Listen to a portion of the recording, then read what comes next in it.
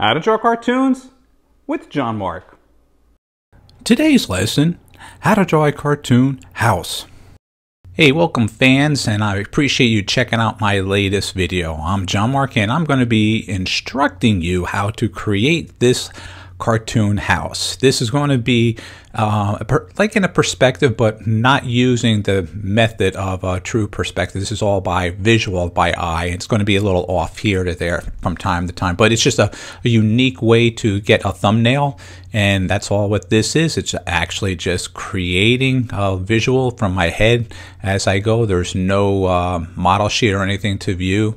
Uh, this is a good lesson just to draw randomly without having any references. To just use your creative juices and just flow whatever comes to the mind. And that's exactly what I am doing right now as I'm drawing. So what I'm doing is I'm figuring, okay, what should be next? And where should it be? Or what should it look like?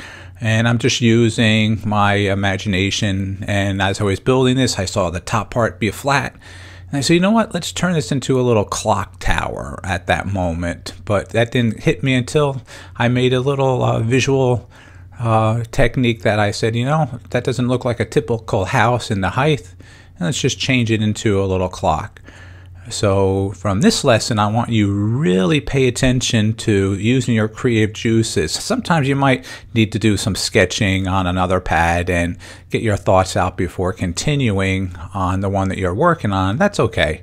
But for me right now, I'm just going as it is and not erasing or stopping.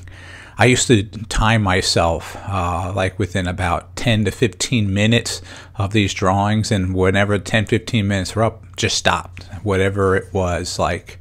And later, I created pictures that I did it up to an hour, and the detail totally is so much more involved. Uh, these are really, really fast sketches, where the one-hour ones they they really came out really good. But I don't want to take a whole hour of your time. So that's why I'm just creating these little quick thumbnail sketches that you can learn and see how I um, continually draw as I uh, use my imagination. And and I will say this, model sheets are a good thing or having books open and how structures could look like is okay. But in this lesson again, just use your imagination, just however something comes up, a window, a door, a frame, a structure, uh, a tree, a cloud, rocks, flowers, you know, uh, however anything comes to your imagination. And that this is just sharpening your creativity, that you don't need to rely on a book or a visual, but doesn't mean you don't want to. All right, so as I'm sketching, I'm sketching very light again, and then I'll come back in some areas and maybe a little darker. But as this one progresses, you can see um, I'm still thinking. If you watch how I'm using my stylus pen, so and occasionally I might just pause and like right there, I'm not so sure where to go. I'm like, okay, let's go over here. Let's go over and put the doorknob on, and that little structure. Uh, it's like a little um, pushed-in door, and let's get that wall there. I could have curtains up there, windows, flowers on the outside. I kind of shade in some of the areas to help separate the different areas of your visual. Kind of gives you a little more dimension when you see that shadow. Things start to pop out a little bit more. All right, so what should I do over here now? Let's just just gradate the side of the um, the roof there, all the way down, because as if the sun is on the far right and everything on the left is kind of shady. All right, let's, instead of a door there, let's just transform that one into a window and a window there. And that's our little clock tower. The doorway either is on the other side of this structure or you can go through this little house on the left to get in.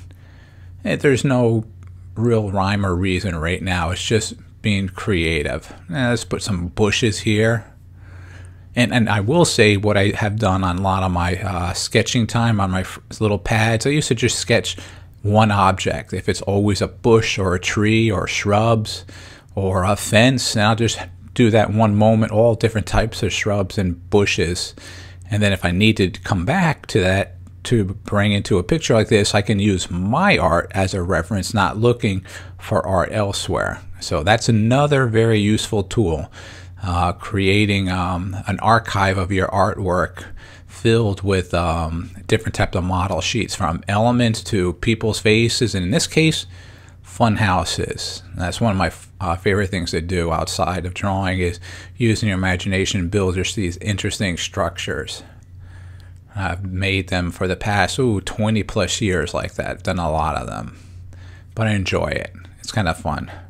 All right, now let's see where I'm going to go. That's a little smoke there coming out. And a little chimney. Where else? Let's put a window right here. And a little circle one. You could have put a clock there. You could have put a light coming down on the door.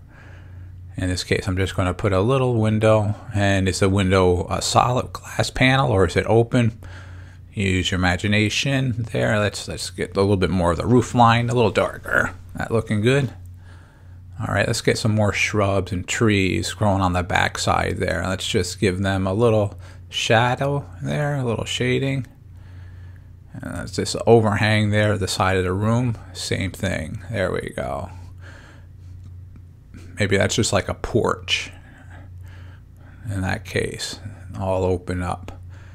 That's, that's like a piece of wood sticking up there. So is it made out of uh, concrete? And that part is like a Tudor of the house. Again, not so sure. If I took this back and colored in, then you would really know the different stuff, and and then I probably would change and have the the shingles all on the house. That takes a little bit more time. I I put a shingle on all, all my houses that take me about an hour to do, but I love those. Okay, that's what's. Oh, you know what? Let's do some fences. Yeah, let's do a, a fence coming from uh, far away and getting closer and closer. These are fun. Uh, there's a little picket fence you can really just pole fence, I should say, and just I place them and make the the poles all crooked, not always the same size, and it goes further, further, smaller, smaller, and angle them different when they go around the curve or behind a hill. There you go. It gives a, a nice uh, eye visual, pulls you from the back all the way to the front right now. There we go. Let's get all this, and then I just put one rail on the top for right now. There we go. Yeah, I laid all my poles first, not intentionally all perfectly straight. I like them stagging uh, a little bit crooked here and there. And even some of these um, rails, you can actually make them broken or missing to add very unique elements again. A good thing to do is if you're ever traveling and you're traveling uh, in a farm area or outside the country, take a visual of how the, your surroundings are. That helps with all this, what I'm working on. I've traveled Switzerland and Europe uh, many times in my lifetime. I have family over there, and this is some of the, the visual that uh, I'm bringing back home to my uh, details, to my drawings. All right, let's have this one go all the way behind the house, the other side. So there's that close up and it wraps around the house here. That's looking good, yeah. I'm liking that. Let's give it a little pathway, narrow, and then gets really wider towards you. There we go. There again, it pulls you into that front door. A little grass here and there. Just simple, simple sketch. This is not a final drawing. This is just a sketch but this helps you to get your thoughts down. I want you to really use your imagination and challenge uh, your ability. And let's put some big clouds in the background even further. And if I took this um, to my light box or to my stylus and change the layer, I would really, really uh, clean up the line work a lot more. All right, I think we're done. So let's sign and date. As always, thanks for checking out our video Hey, do you have an artist in your family that likes to draw and sketch? We got these three cartoon books that your kids will definitely enjoy. So what are you waiting for? Visit our website, that's jmg-studio.biz